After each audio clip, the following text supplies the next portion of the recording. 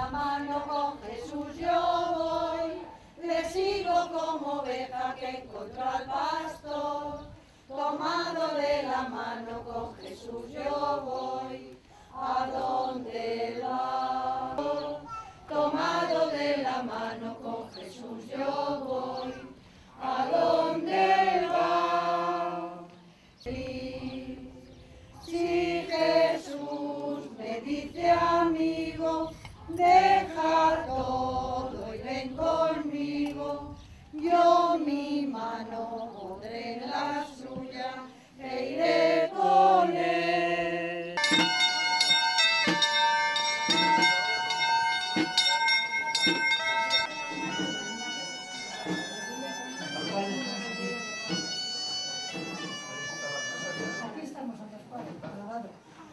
아.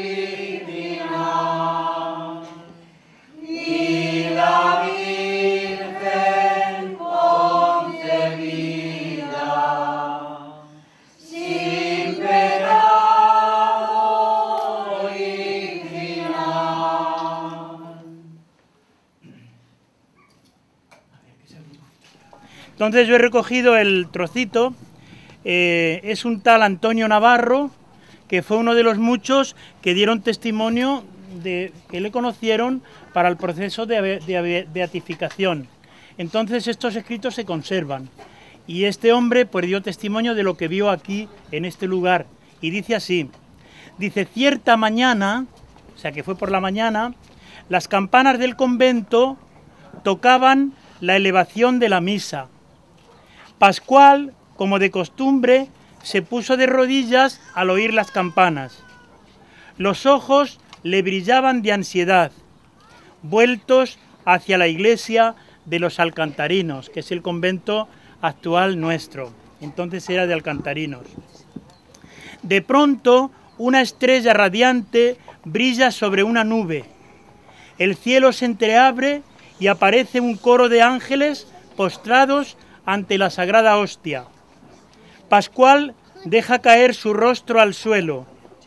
Por largo rato unió su adoración a la de los ángeles, corriendo después hacia nosotros que cuidábamos nuestros rebaños e instándonos a contemplar el extraordinario espectáculo.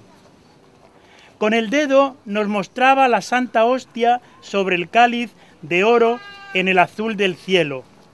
Pero para descubrir lo que Pascual veía, nos hubiera sido necesario un alma tan pura y fervorosa como la suya. A menudo el mismo prodigio se reanudó, y aunque no lo tuviéramos, aunque no lo viéramos, no lo tuviéramos por cierto, por su palabra jamás tuvimos la menor duda. Esto lo cuenta Antonio Navarro, que trabajaba de pastor junto con San Pascual cuando sucedió el milagro aquí en este sitio donde estamos.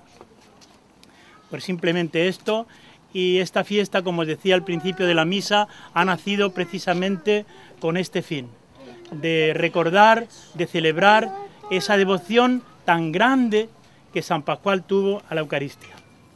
Por tanto, ha sido como algo que nos ha, que nos ha empujado a hacer esto. Ya casi hace 500 años que vivió San Pascual y ya veis una cosa tan aparentemente tan simple, pero que ahí sigue viva.